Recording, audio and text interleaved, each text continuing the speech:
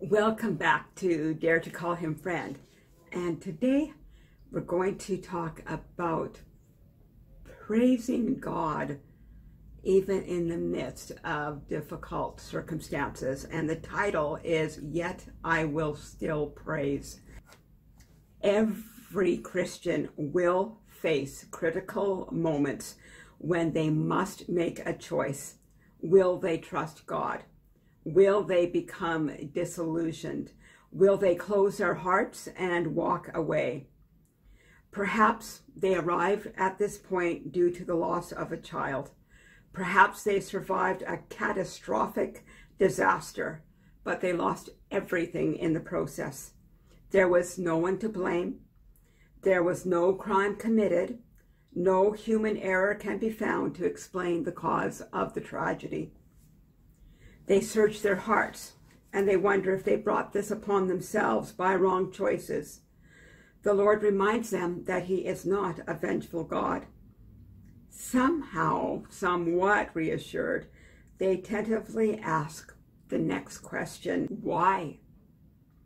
All too often, God answers, Will you trust me even if you never find the answer to that question?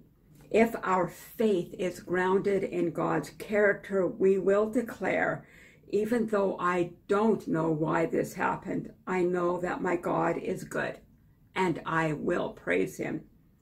By declaring his goodness and reminding ourselves of his great love for us, our hearts will remain open for his comfort and to receive his reassurance but we must remain childlike. Corrie ten Boom tells of a train trip she took with her papa. Perhaps out of boredom, she asked a rather delicate question, shall we say. Her father wisely discerned that she was not mature yet to comprehend any direct answer he could give her on that particular subject. She writes, He turned to look at me, as he always did when answering a question, but to my surprise, he said nothing. At last, he stood up. Lifting his travel case from the rack over our heads and set it on the floor. Will you carry it off the train, Corrie? He said. It's too heavy, I said. Yes, he said. And it would be a pretty poor father who would ask his little girl to carry such a load. It's the same way, Corrie, with knowledge. Some knowledge is too heavy for children. When you are older and stronger, you'll be able to bear it. But for now, you must trust me to carry it. And I was satisfied, more than satisfied. I was wonderfully at peace. There were answers to this and all my hard questions, but for now I was content to leave them all in my father's keeping.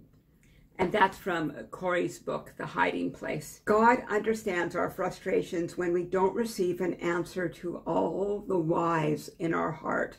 But our Heavenly Father knows that sometimes, even if He were to answer, we would not be able to comprehend His explanation and so we must trust his goodness and say, God is good. His intentions towards me are to bring blessing, and his mercies endure forever.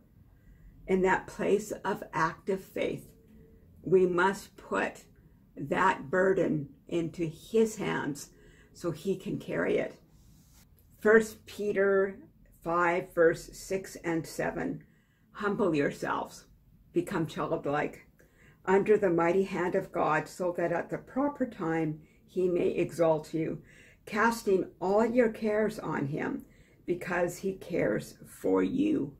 We talked before about questioning God and accusing God, and the difference in between asking him a question.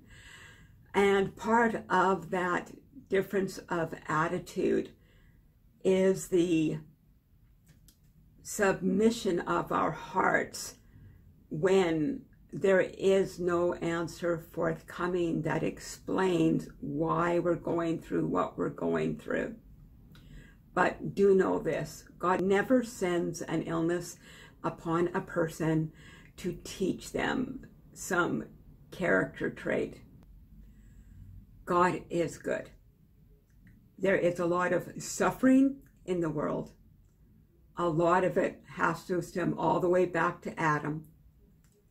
There's free will where bad people do bad things to good people.